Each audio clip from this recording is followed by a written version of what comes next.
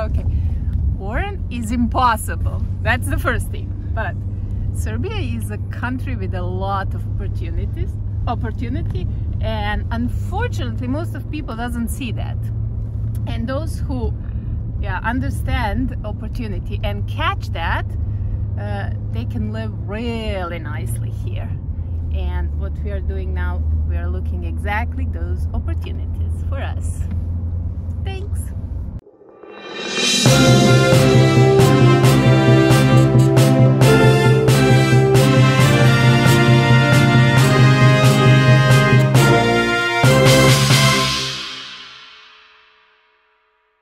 So we are outside of Novi Sad and we're going out with a couple of our new good friends, uh, Dale and Dolly and uh, Borska. And we're going to be looking at several homes that uh, they're looking at for investment purposes. And so we'll, we'll, introduce them in a second. Are you excited, honey? I am. I love real estate and this is fun and spending time with them is a lot of fun. So we're enjoying it. And if you can't tell, Aria is jumping around on my lap and making the camera move and she's enjoying the drive. So let's uh, get on to the next house and we'll introduce you to uh, Dale and Daliborska. Dale and Daliborska are a couple that befriended us when we first arrived in Serbia. Dale is an American expat who's been living in Serbia for nine years and his wife, Dali Daliborska, is a Serbian native. They invited us to go along as they looked at investment property for themselves, but they've also helped others find property. So if you're looking, look in the description to contact them. Okay, so this is the first house. It's kind of a fixer-upper, so we're going to go do a walkthrough and we'll discuss the finances on this. We want to get an older house like this. And um, we want to keep that old style flair. Uh, we're not looking to modernize or uh, build some type of new structure. Uh, we want to keep that old style flair from the 20s, to 30s.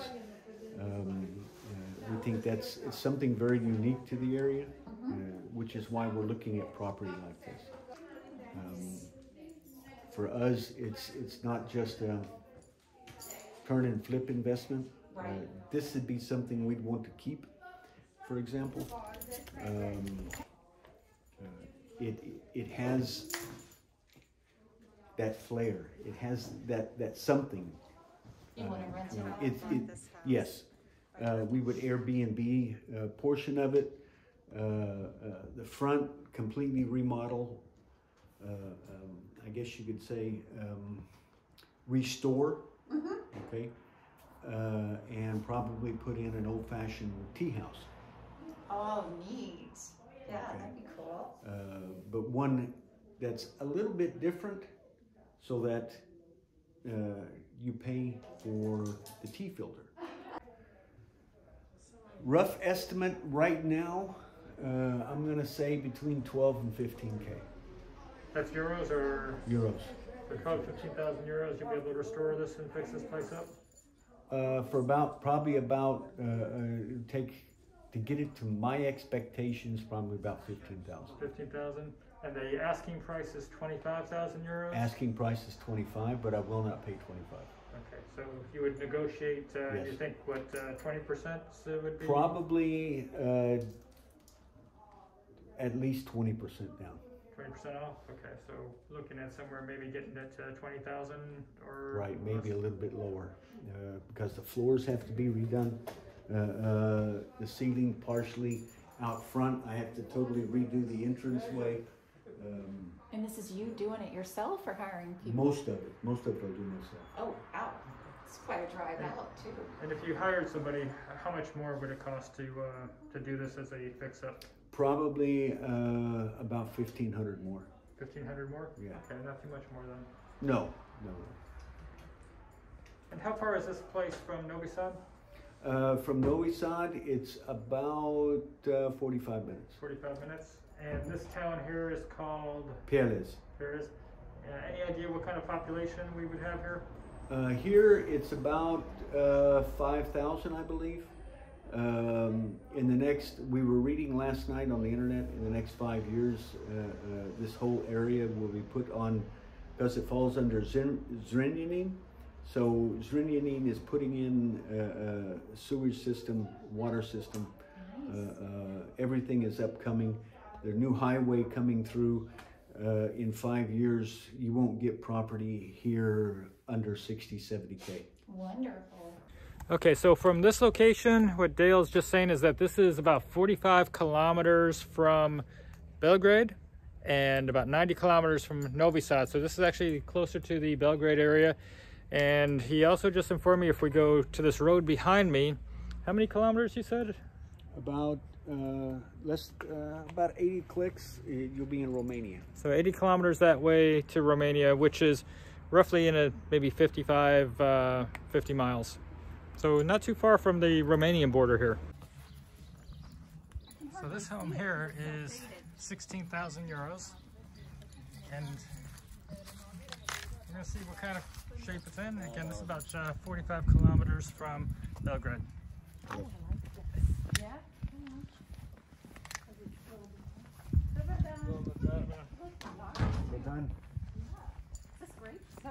Yes. Da, sad ono... Da, sad su. Grandmas must well here because I see a lot of them. You're gonna get, yeah. Great roses. da uh, Hoće da nas vode. Ajde, ajde. Uci igle samo.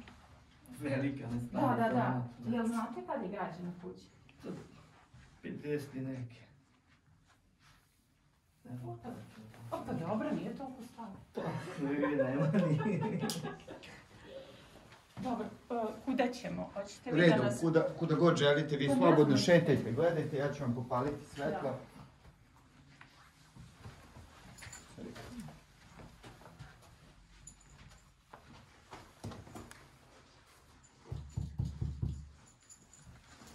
These homes all sh- section off their roo- rooms a lot. They, Yeah, that is a... Is that Serbian? Yeah.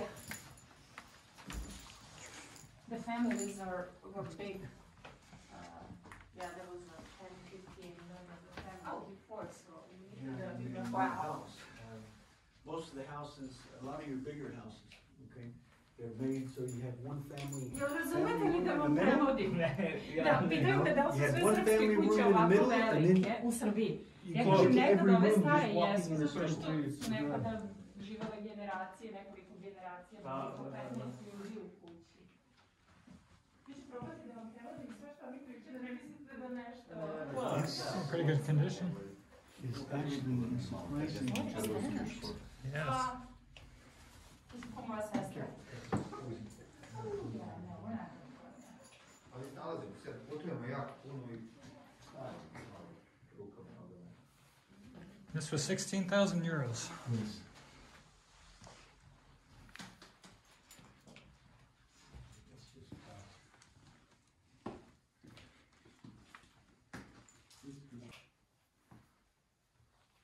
This is in pretty good looking condition. Poison over there too.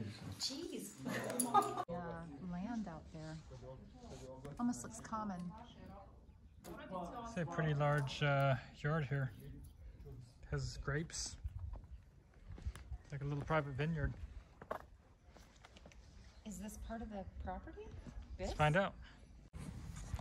Okay, so it's more than just the one house. So we have this property over here, and it looks like there's a little barn. And then this shed or house.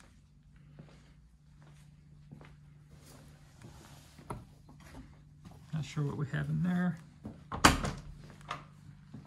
back in here. So all of this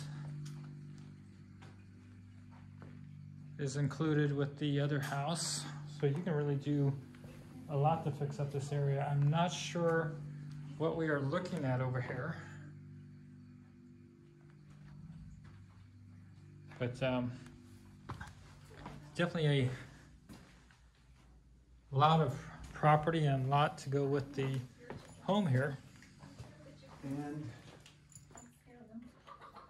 Oh, you could, you could really. And here's a kitchen. You could really make this work. Yeah, this is uh, this is nice. Is there an upstairs to this also? It looks like there should be a rafters or an attic. And then you have a barn over here with the chickens. I like the roof. It Looks kind of neat. It is. Yeah, Ari wanted to see the chickens. Of course she would. And then you have the additional land. This land also is, and then all of this land over here.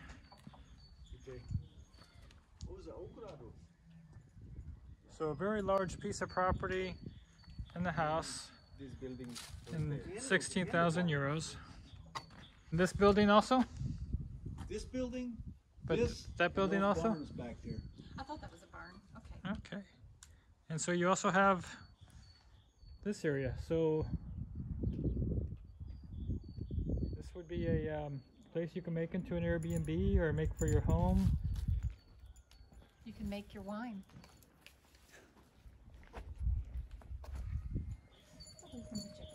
Oh, Johnny Boy could like.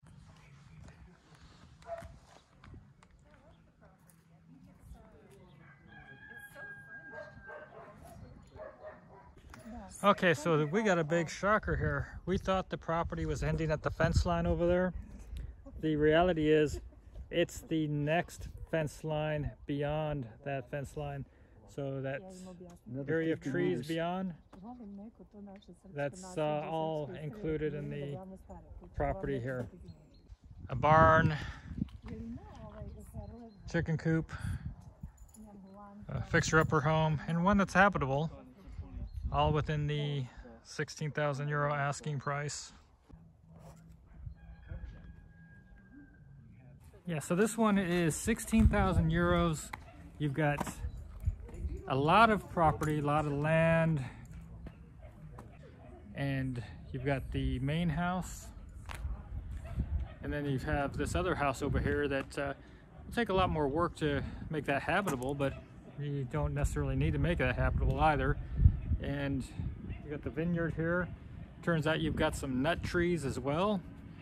Um, you know, for a $16,000, or actually I should say 16,000 euro investment, which makes it a little bit more expensive. Currently with the exchange rates, you're probably pushing close to $20,000 for this place, and this is the asking price, so there's probably negotiation room. But if you're looking for something rural, this is a example. This is about uh, 40 kilometers outside of Belgrade. And again, with the ownership of a home or inside of uh, Serbia, you have residency. 300 less properties now than this time last year. Yeah, and uh, the prices went up for about 20 30% than uh, last year this time. Wow. Uh, it happened totally opposite of what they were expecting. So almost all houses here are sold last year or beginning of this year. And this is one that Dale and Daliborska have been very excited about coming to see. Dragan. Ja sam Dragan, drago mi je. Hello. Ekstra kuća koja bi mogla da bude namijenjena baš za slikanje i tako dalje. Pa ne, ali, ali to And historical name of this village is Elisenheim. It was a, a German village. Lisigheim. Elisenheim. Elisenheim. Elisenheim. catch that? It is in the name of glory of uh, Princess uh, of uh, Queen, of Queen Elizabeth of Austria, of Österreich, Austria, yeah. yeah. Oh, wow. This is 154 years old, It is about uh, 160 years old. 160 years old. Yes, because uh, this village starts with uh, life uh, in uh, uh, 1866. Wow. But it's not nice now because it's winter. It's much better Yes. uh, uh, on the spring when comes spring, so it's beautiful here for living. It starts from yes uh, from the gate and uh, until the, this little forest there. And from this property uh, to this uh, neighbor. 1,440 uh, square square meter meter squares. 1,440 square meters. Yes. Clear air. This is very nice. Ionako nije dobra voda. Bar sam tako pročitala. This is a pretty cool little house, and it doesn't take a whole lot to clean this up. And we have it on good authority that if this turns into an Airbnb, we'll be one of the first guests to get invited to stay here. As a reminder, Julie and I, we retired early to travel the world. And don't forget to subscribe and follow along and see what it's like to live in different countries and different places with us. It is. um,